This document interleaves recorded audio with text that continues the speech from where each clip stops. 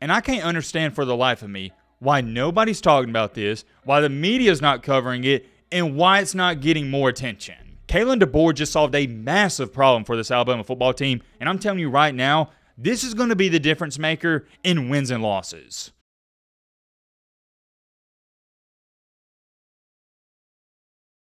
Ladies and gentlemen, boys and girls, hope all of you had a great start to your week, had a great Monday. If not, hope this video can make it a little bit better. And so far, up until this point, it's been a relatively quiet offseason. Outside of the past couple of days with Arch Manning having that amazing spring game, we talked about that. And recently we've talked about Coach Prime in Colorado, the drama that's going on there. Yeah, it's been quiet. That's just how things have been. And I'm not too sad about it because in the offseason and when there's not a lot going on, this is when we get to work on our documentary videos, and you guys have really been enjoying those. But I think we're all in the same boat on this. The one thing that makes this community what it is is the daily uploads and the double uploads all throughout the season when we're talking about the news nonstop 24 7. And I want to give a quick shout out to Ethan Walker here. He commented this on the last video when we talked about Arch Manning. Just got my phone after graduating from Army BCT, and hearing your voice felt like reuniting with a long lost friend. I literally used to listen to your videos every night while I worked out between calls at work. Well, first things first, hold on, hold on, hold on. I got to clap it up, clap it up to him congratulations on that. And secondly, thanks for being a part of our community and thanks for coming back. I really appreciate you taking some time out of your day and watching the videos and kicking back, relaxing with us. And that's all this channel is about, man. We're just a bunch of guys and girls that like talking about college football. And I share that with you because I've seen multiple comments of people saying the same thing or relatively the same thing. When the season's over, they're not watching the videos as much. They're not keeping up with it because it's not anything that's bad on our channel. It's just college football, it's over, it's not relevant. However, when the season does come back around, it is almost like we all come together and we reunite. So I just wanted to say I greatly appreciate you guys and y'all really make this feel like a very wholesome community and I can't thank you enough. Now getting that out the way, I know that was somewhat irrelevant compared to what we're about to get into, but I did want to express my gratitude to you guys for just a second. We haven't talked about now I think about it. I can't even remember the last time we talked about Alabama. Oh, oh, oh, no, I do remember. It was when we had that huge snowstorm in northern Alabama where I had that huge snowstorm and all the Alabama players they were transferring left and right and we were doing daily vlogs on the channel in the man cave. Man oh man, that wasn't just a wild time on the channel.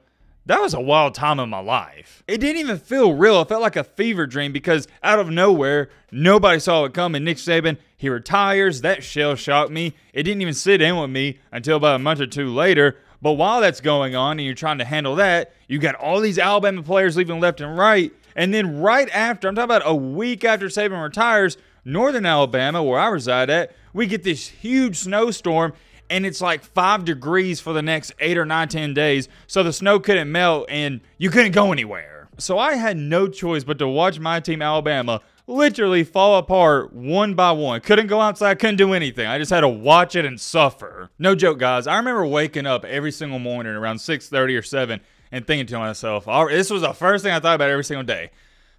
all right, let's see who entered the portal today. It was madness. I digress. I don't even want to really think about that too much, and I'm just glad we're past all of that because it wasn't fun. Anyways, though, moving along here, after talking about whenever Alabama hired Kalen DeBoer, I can't remember exactly when that was. Those were the last times we even talked about Alabama. We haven't talked about them how they've been looking in spring practices. We didn't even talk about the A Day game, none of that. And I didn't think not covering the A Day game would have been as big as a deal as it was, but I even had a couple of you coming up to me in public saying, Yo, Matt, Where's the A Day video? We didn't even get a reaction for it. That's when I knew was a big deal, when people were calling me out for not just in the comment section, but in public. And I explained my reasoning for not talking about the A Day game in the Texas video we made a couple days ago, but I know some of you didn't see that video, so I'll say it again here. And I'll tell you the same thing I told everybody in public. I myself have never cared about spring games too much, and I don't put too much weight into them. The reason for that is because it's dang near impossible to evaluate your team. Because let's say your offense goes out there and scores 50 points, or they do really good. Well, is that because the offense is really good, or is that because the defense is really bad? And it's vice versa. If your offense is struggling, well, does that mean your offense is really bad, or does that mean the defense is really good? It's a double edged sword. And plus, with Alabama not having any question marks at the quarterback position this year, there's nothing to talk about. The only time you'll ever see me talk about a spring game is if there's a quarterback battle going on. That is the only thing that intrigues me and I think is even worthy of talking about. I know we make a lot of videos on this channel, but I don't just make videos to make videos. I don't just throw up slop, or at least I try not to. I try to make videos that are valuable. And maybe saying valuable is the wrong word, but let me explain this a little bit better. Let me dumb it down. I don't want to waste your guys' time. Every single time before I record a video, I ask myself the same question Would I watch this video? If the answer to that question is yes, I'll make it. If it's no, well, you know, I don't make it. And to me, the A Day game wasn't worth talking about. No quarterback battle, everything looked smooth there, the offense looked smooth, and the defense looked good. Getting that out the way though, yesterday, Alabama got some big time news. And I can't understand for the life of me why nobody's talking about this, why the media's not covering it, and why it's not getting more attention. In my humble opinion, this isn't just good for Alabama, this is huge. This is vital. Kalen DeBoer just solved a massive problem for this Alabama football team, and I'm telling you right now, this is going to be the difference maker in wins and losses. For those of you that didn't hear the news, and I got a feeling a lot of you didn't, Alabama just signed the best kicker in the nation in 2023, Graham Nicholson from Miami. Last year, he won the Lou Groza Award, which goes to the best kicker in the nation. So, me calling him the best kicker in the nation, that's not my opinion. That is a cold hard fact. He went 26 for 27. I'm going to say that one more time 26 for 27. Not on extra points, on field goals. And whoa, whoa, whoa, whoa, whoa, whoa, whoa, hold on, hold on. I know some of you about to say, Matt, my brother, are you kidding me? This is the big deal. This is huge to you. Come on, we're talking about a kicker, man. And hey, I understand your argument, but hear me out. Let me explain. I know, I know, I know what everybody's saying. Well, Matt, this is a kicker, dude. This isn't like getting a five star quarterback or running back or wide receiver. And my rebuttal to those statements is this right here.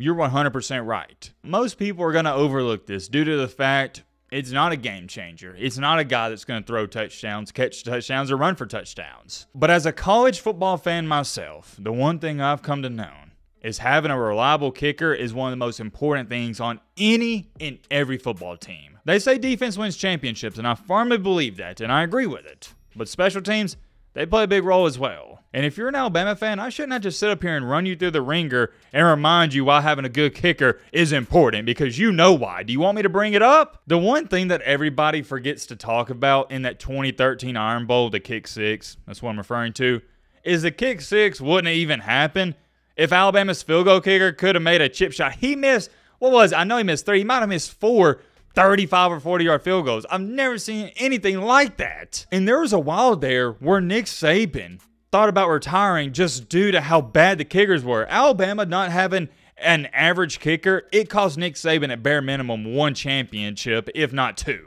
From 2010 all the way up until 2020 when we got Will Reichard, the kicking game in Alabama, it wasn't just average, it was far below average. It was bad. And as an Alabama fan myself from 2010 all the way up into 2020, I never for one second thought when our kicker walked out there on the field that he was going to make it. I always thought he was going to miss it. However, that changed when we got Reichard. For the first time in my life, when I saw Reichard walk out on that field as an Alabama kicker, I genuinely thought he was going to make every single kick. And I can't tell you how great of a feeling that is, especially being an Alabama fan through those years where we struggled mightily with big time kicks. I wouldn't even say having a great kicker is a luxury.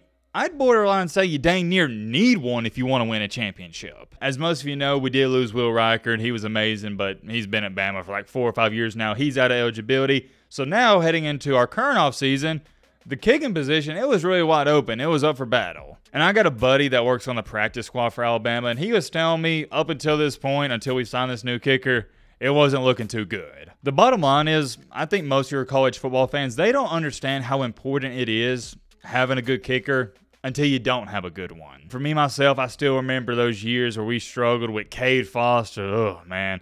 Then we had Adam Griffith, and he was all right, but nothing special. Then we had the, who was it, the Pappanastos dude. His last name started with a P. He missed that.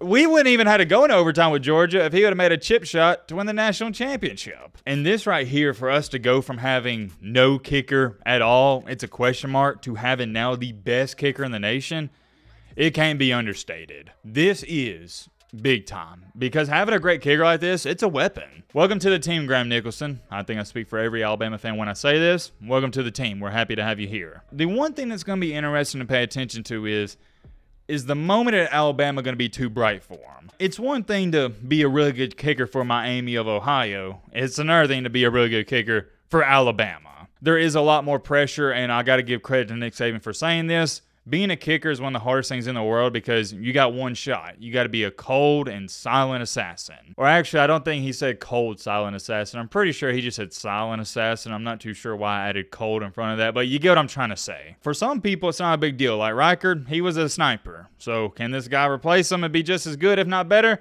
I guess we'll have to wait and see. For now, though, I'll tell you this much I'm pretty comfortable with the kicker position. I have a hard time believing this guy's just going to completely wet the bed. I think he's going to be a okay. There's many more things I could say. I'll end it off there. Let me know your thoughts down below. But uh,